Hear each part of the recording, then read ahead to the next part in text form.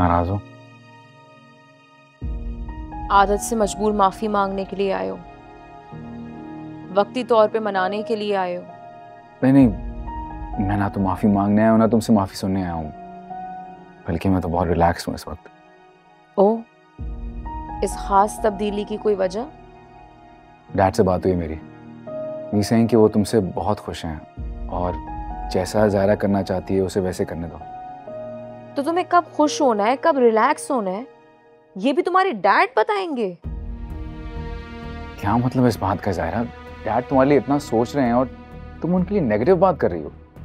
मैं सीधी बात करूँगी मैं मैं ये नहीं चाहती कि कोई तीसरा बंदा तुम्हें कंट्रोल करे। कोई कंट्रोल नहीं करे यार। मैं कोई बच्चा थोड़ी जो कंट्रोल किया जाएगा। ये रिस्पेक्ट देने वाली बात होती है। डैड ने कहा वो तुमसे खुश हैं। तुम जैसा चाहो जो करना चाहो वो कर सकती हो। मुझे लगा कि आगे तुम्हारी जॉब करने पे भी घर पे किसी को इशू नहीं होगा। मुझे खुश हुई बात सुन के यार इसलिए तुम्हें आके बताई मैंने। तुम्हारे डैड जब बताएँगे तब तुम खुश होगे। तुम ये सब कुछ मेरे लिए खुद क्यों नहीं चाह सकते? और तुम्हें पता है इस घर में कोई उसूल नहीं है। तुम्हारे डैड जो कह देते हैं वो इस घर का उसूल बन जाता है। हाँ ऐसा ही है। क्योंकि उन्हीं की वजह से ये घर और इस घर की इज़्ज़त अभी भी कायम है। इसलिए वो जो कहते हैं वो सही होता है। उमेर इस घर की इज़्ज़त पे ऐसे कौन से दाग लगे हैं? जिसे धोके उन्होंने इस घर की इज़्ज़त कायम रखी है। मेरा सुबह ऑफ़िस है, मैं इस कॉन्वर्सेशन में मजीद नहीं पढ़ सकता। सॉरी